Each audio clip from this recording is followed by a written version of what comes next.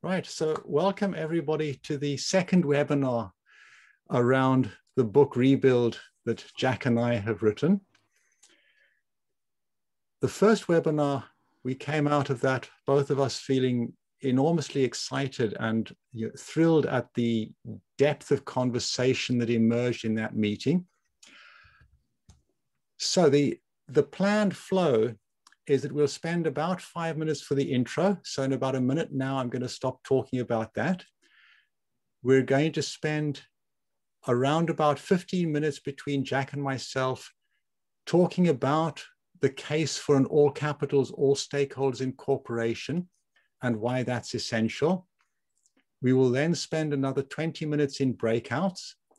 So a couple of words from Jack and myself on you know, most of you have probably already taken a look at the book Rebuild, have maybe even read part of it, and you'll have recognized that one of the central themes of Rebuild is that if we want to rebuild, in particular, if we want to rebuild from the paradigm we have to a completely new paradigm, we need a combination of, on the one hand, we need new lenses so that we can see things differently to the way that we see them now.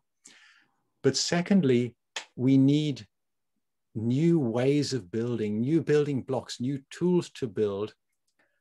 And a good example of that from the world of building cathedrals or towers, the Ulm Cathedral was the tallest building that could be built using traditional stone construction methodologies. And it's at 162 meters high. It's almost impossible to go any higher than that, maybe 170 meters, maybe fractionally above that if you do really careful stone construction. But there's no way that you could ever get to the height of the Eiffel Tower if you try to mm. build it using stone. The only way you can get significantly above the 162 meters of the Ulm Cathedral and get into the 324 meters height of the Eiffel is by looking at construction through a completely new lens and using completely new building blocks to build. And this story is one that nature has learned time and again, that humanity has learned time and again. If you want to build something fundamentally new, you need fundamentally new ways of building. You cannot build the new paradigm using the tools and construction materials of the old paradigm. So the new paradigm that we have coming towards us now is a paradigm of whether you call it stakeholder capitalism, circular economy, regenerative economy, whatever you call it, it requires a fundamentally new paradigm. Now, in this new paradigm, one absolute is going to continue to be true in this new paradigm. And it's something that has remained true for thousands of years, namely that human nature does not change anywhere near as fast as the technology we have to do things with changes. There's relatively little difference between how individual humans and groups of humans react, in particular, how we react under times of stress and change, to the, a thousand years ago, 2,000 years ago, 3,000 years ago. So any approach that requires all human beings to have the same values, that there are no people who are acting purely in their self-interest, no narcissists, etc., in the mix. Any approach like that is fragile. And the best we've found across centuries, millennia of civilization to enable something stable to emerge, given that human beings are what they are, is summarized in that top line. You know, the idea that there's no taxation without representation. If you're going to tax the citizens of a country, they need to be engaged in governance. And what that means is that to have something stable across the huge diversity of different needs, human natures, etc., we need to balance power, both the power to and the power over. We need to be completely inclusive of all concepts of value, all kinds of values, and all kinds of needs. And we need to do that in a way that is fully aligned in particular in the world of business, it means we need to align all of culture, structures, processes towards the kind of outcomes we want. So if we want to build stakeholder capitalism, if we want to build a circular economy, a regenerative economy, a well-being economy, any of these, we need to build it in ways that are anti-fragile, in other words, they work with human nature as it is, full of tension, conflict, and all of the other aspects of human nature that we know so well. And they derive their strength, their adaptability from human nature as it is, without any attempt to, or any assumption that it will work when human beings all think in a certain way, all have a certain set of values, all behave in a certain way. So that has led us to what we have looked at as how do you incorporate to enable that to happen? And we've we've fixed at the incorporation level, at least in what we're discussing here, because it's in the incorporation of a company that you have something that is the first layer that is big enough to include all of the stakeholders. And yet, and, and in that sense, it's a microcosm of the entire economy. At the same time, it's small enough to actually work with. And it's the building unit that the rest of the economy is built out of. So if we get incorporation right, for human nature as it is, and right in that it's inherently able to deliver stakeholder capitalism, a wellness economy, a circular economy, a regenerative economy, etc., there are certain key characteristics that we believe need to be true. The first one is that it should include in the power structures, in the governance of the company, all of the stakeholders that are engaged and all of the capitals that are engaged. Only then are you able to ensure that no stakeholder group can dominate over another stakeholder group. In other words, a group of people or nature is not a viable stakeholder unless they have the power to protect themselves and the power to get things done that needs to be done from their perspective. Such a company also needs to grow all of the capitals, including financial capital. In everything I'm saying, there's a, there's a tendency sometimes to hear what I'm saying as being antagonistic towards financial capital. Financial capital is a core building block of what we're doing it represents part of what we need in the kind of economy that will build houses, build, manufacture clothes, furniture, things like that. Thirdly, this kind of incorporation needs to scale. In other words, the company itself must be a viable stakeholder at the next level of scale. And that means that the company must be free in particular free of being treated as the property of one or more stakeholder groups. And any incorporation that is treated as if it is property is fragile if we want to build any of these kinds of economies. The decision perspective needs to span from now through to centuries in the future, not just the next quarter. And if we get all of that right, it needs to be one that will naturally form ecosystems and circles. So that's a, a bit of an intro from me. Jack, would you like to bring in a few thoughts at this point? Um, yeah, absolutely. And I would just like to begin with um, just to welcome everybody. It's really, really nice to visit with you all. And this particular moment is this is something of a jubilation. It's very, very emotional. Is, you know, it's something that we worked very, very uh, arduously. We put together a lot of work for over a, a number of years, and it's it's good to see the fruition of our work.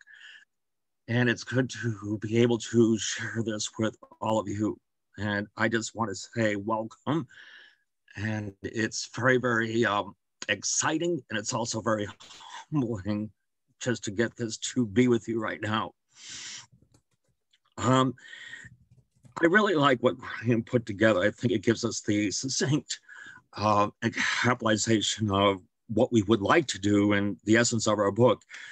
And I would just like to emphasize that it's what we're, our overall goal is to get from A to B. And right now, A is not working. It's only working for maybe just a couple people or a couple groups. And B, as we envision, will be much more provisioning uh, for everyone. But the difficulty is from getting to A, uh, getting from A to B. And even though we mentioned uh, the beneficial aspects of B, we also devote a lot of the book to looking at the obstacles and the way that we can surmount uh, these obstacles. And I think the way we wrote the book, it gives us a very, very uh, meticulous recipe for self-developing and in ways that we can recognize the obstacles that are out there and then also be provisioning uh, for all of us. And we also have to remember, you know, when you look at the economic system that's out there, this is an economic system that doesn't just rain down from the above. This is something that all of us do create. And maybe the lenses and the stories that we've been used to does not give us that advantage that this is all of ours. And we need to ask, what is it that we want? What is it that we're not getting? And we also have to realize that every one of us is interconnected with each other. And this is the essence of the, the, the notion of the stakeholder system. As a business, as an economic system, um, we, we do have to recognize that the, there's the existence of stakeholders and everyone is relevant. And let me just give an example of when both of us were done with the book, we were in South Africa and we were relaxing on a deck looking at I, what I think is one of the most beautiful mountain ranges anywhere. And we began writing, uh, writing the acknowledgments. And this was exciting, but it was also difficult.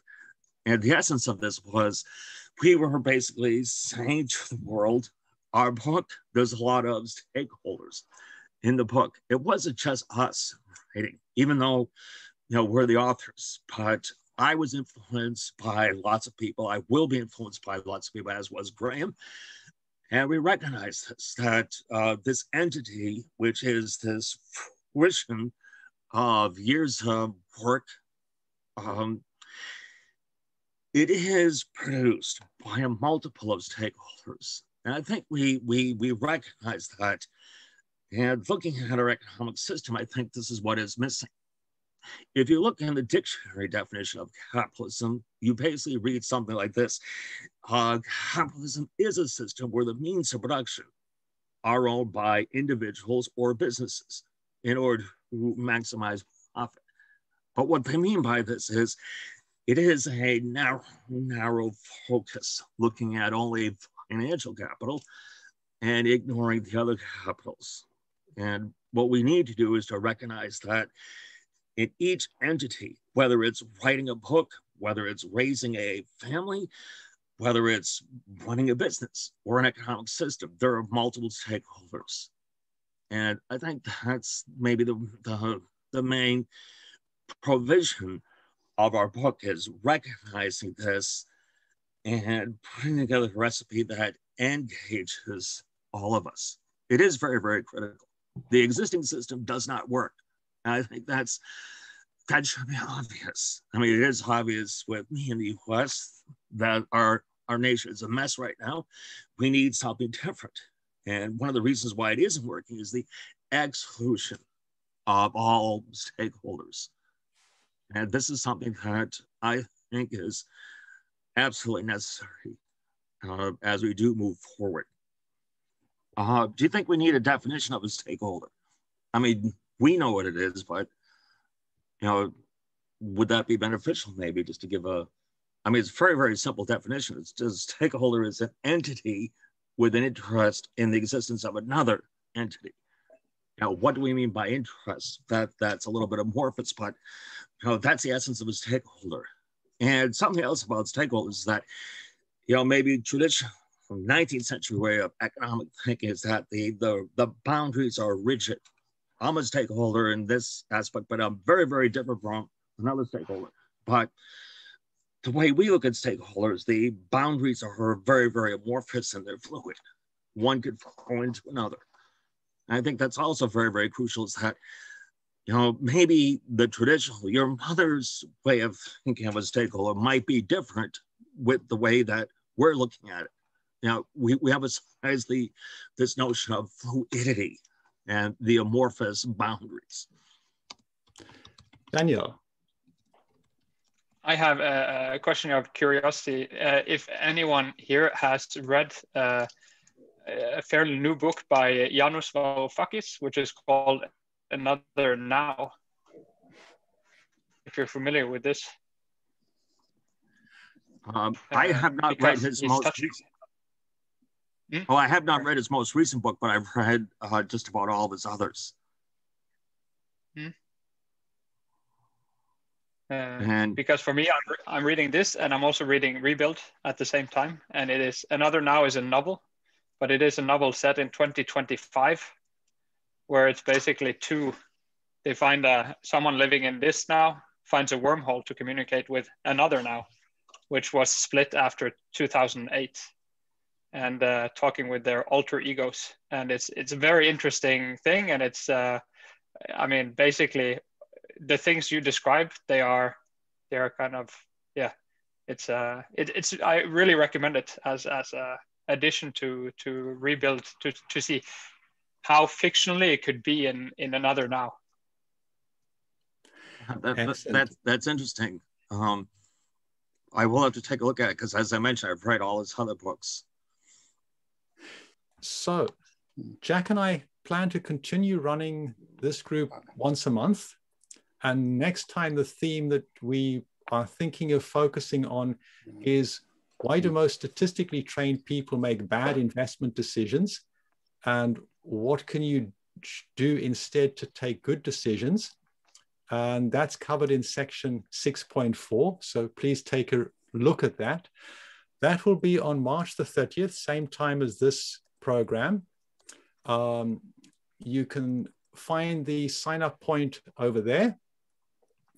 And if you want to know more about this, well, our the, the way that we put food on the table for ourselves and a roof over our head is through our workshops, which span a wide range, both workshops for individuals on how to develop new lenses to look at the world through, how to transform yourself so that you're able to embrace new ways of working, as well as workshops and courses on how to set up a FairShares Commons company and a range of others. So please do take a look there. Also, really important, we've written this book with the idea that it will be helpful to lots of people. So the more people know about this book and read it, the better. So please do put a book review online, share it widely, watch and share our other videos and podcasts, and in particular, for somebody who either has a very limited amount of money or people who want to taste it first before they buy it, remember our the PDF of our book is available to download for free from our website up there. So you know, please do share it with everybody. And if you are willing to support Jack and myself in getting this the next level of work done and getting the marketing going and everything, we would be enormously grateful for any sponsorship you can give us. So we are bang on the half past point. Um, I will, in a moment after Jack has spoken, we'll bring this to a formal end, but I'll stay online afterwards for any general questions and chatting. Jack, some last words from you. Uh, absolutely. And my last words too have to be brief. And the reason why I do have to teach, but uh, I would just like to mention that writing the book was very, very exciting for both of us. It was arduous, but it was very exciting. And then getting the book published was also very exciting. But then meeting all of you and participating uh, with you, I think is even more exciting. You know, it just makes me very emotional, but it's it's really nice just reaching out with all of you. And I really, really enjoyed meeting you. And I I just just hope to keep it up. Wonderful. Thank you, Jack. Thank you everybody yeah. for joining in. It's been grand having you all here. And as Jack says, this is this is why we wrote the book, is this kind of conversation, growing this kind of a movement. Wish you all a fantastic day. Hope to see you all next month, same time, same place. And cheers to everybody. And I'm still around for those who want to chat.